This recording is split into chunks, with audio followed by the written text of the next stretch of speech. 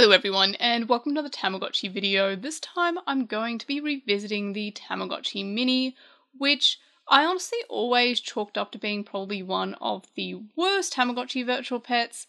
However, I've completely come around on this. I've done a 180, so I'm going to be starting it up and talking about why that it's it tends to be fairly overlooked in terms of Tamagotchi releases. So let's start this one up. So we set the time. And of course, I do have some complaints. Like it's not a uh, it's not a perfect virtual pet by any means. It definitely has some issues, and I definitely see why it's uh it's tends to be overlooked because there are a few things that I don't like about it. But uh, we'll get to that when we get to that. So let's set the time. So here we have our egg, and straight away you'll notice that the sprites are a little bit weird. Like the egg itself is kind of like looks like it's been zoomed in and stretched, but they haven't added ex- any extra pixels to it. And when we were looking at the time earlier, it's the same case for the time. The sprites don't look the same as they do on the original Tamagotchi releases, for example, or any of the other black and white uh, Tamagotchi connections, or I say black and white, I mean monochrome, by the way, um, or any or any of the other monochrome screen Tamagotchis. The sprites are a little bit different, and again, they look a little bit stretched and a little bit weird, which honestly uh, makes the Tamagotchi Mini look a little bit more like a bootleg in terms of the screen. Like I've seen a lot of Tamagotchi bootlegs that have very similar looking sprites, especially this bouncing egg that we have, and that is a weird thing about it. So, straight away, we have the sounds being a fairly decent volume. They're not overly high pitched like on the re release, and that makes it better than the re release, honestly. So, we have our baby here. I believe that one's called Marutchi, and we have the ability to feed it our rice, our gohan, and then we also have the okashi, the snacks. So pretty straightforward in terms of you can feed it. However, you will notice that that's all you can do. You can check the time. See does nothing on the idle screen. The only thing that you can do is you can feed it the food, the meal, or and the snack. So that's basically the gameplay, which is probably why it gets overlooked. That's it. The it you has care mistakes and food, and it sleeps, which is the same button as the on and off, which makes it fairly similar to the Tamagotchi Nano in terms of the top button, the first button, A, whatever you want to call it, can be a multi purpose button, and when the Tamagotchi is asleep, it is the ability to uh, turn the lights on and off for it. So here's the Tamagotchi Nano and very similar kind of gameplay and almost similar sprites too. However, I believe that the Nano, uh, personally, I just feel like the Nano does the sprites better. But then again, I think the screen, okay, the screen is the same size, never mind. So we get a lot more detail on the Tamagotchi Nano, and there's a lot more gameplay on the Tamagotchi Nano. However, you'll notice that this, there's a bit of a size difference in terms of the thickness. This one has a fairly flat bottom there, while the Tamagotchi Nano is more egg shaped and round. The batteries are also different. This one takes LR44, this one takes the flat coin battery, the CR2032, I think it is, which uh, probably helps account for the size.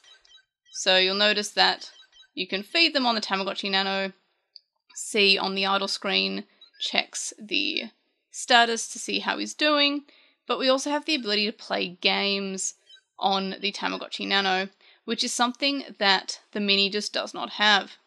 So if you are one that likes the games on a Nano, then you'll probably be missing that the most on a Mini because, again, the gameplay is just you feed it, you put it to sleep, you do the kind of bare minimum of virtual pet care. You can compare this with the Digimon Mini, which, of course, similar idea. It is a smaller version of the original release, but The difference being that the Digimon Mini still can connect with other Digimon Minis and, of course, other three pronged virtual pets. And it also has the ability to train it, so it does have the mini game. Whereas the Tamagotchi Mini, again, just has the very basic care of feeding. They poop. I believe they get sick off the top of my head and they fall asleep. So, and they get care mistakes, of course. You don't give it the care that it needs in the time frame that it needs it. So it is just the same as the original Tamagotchi releases, except without the games. Now, I'm not really a fan of the games, especially not on the originals, so I don't mind that particularly. But if you want something to, you know, play with, uh, it's just kind of, it's a lot less going on than other virtual pets. But I would still recommend them. Again, they get overlooked pretty often, especially in comparison to the Tamagotchi re releases, which I've done a video on why I hate them, but I, I feel like they get these get overlooked in terms of people will get the re releases rather than the mini. And I honestly prefer the mini, even though there's less to do on the mini. I feel like it doesn't have the same complaints uh, that the re releases does. Like the sound quality is fine, the print quality is fine. It's also kind of adorable in terms of its size. Again, it's a similar size to the Tamagotchi Nano, which is something I appreciate. I don't like a, a big hulking thing to uh, to take care of. So those are my thoughts about it. Uh, ease of use, it's it's yeah full full marks for ease of use because it's oh maybe not full marks because I'm oh yeah I'll deduct a point because I'm terrible at things. No, I'll I'll, I'll give it full marks just because it doesn't have the games, so it's one less thing that you have to worry about, and you don't have to worry about it uh, you know, dying because you just give snacks instead of playing the games like you do with the re release. And enjoyment, I'm gonna say it's kind of middle of the road for enjoyment. Again, there's not a lot of uh, fun to be had, it's just a more bare bones version of the original Tamagotchi, but that is kind of by design. It it is exactly what it's meant to be. It is meant to be a mini, slightly bare bones version of the re-release of well, I guess the original, but re-release, I guess it is the same as the original. And uh, yeah, it's honestly not as bad as as I originally thought. I remember trying this. I was like, well, that's boring, and then I kind of ignored it. But then again, I have a lot less free time than I did when I first got this, so I kind of appreciate the fact that there's not a lot to do and that you can kind of just have it sit there as a Tamagotchi. You don't have to worry about it too much. But I still, I still feel like I prefer Tamagotchi Nanos typically. But overall, those are my thoughts on the Tamagotchi Mini.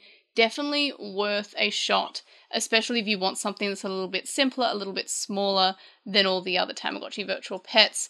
And uh, yeah, so those are my thoughts. So let me know your thoughts, comments, questions, etc., etc., in the comments section below. Like this video for hey, at least the shell's pretty nice, right? Subscribe if you haven't already, and if you have subscribed, tell your friends, tell your family, tell your neighbours, and of course, I'll see you in the next video. Bye!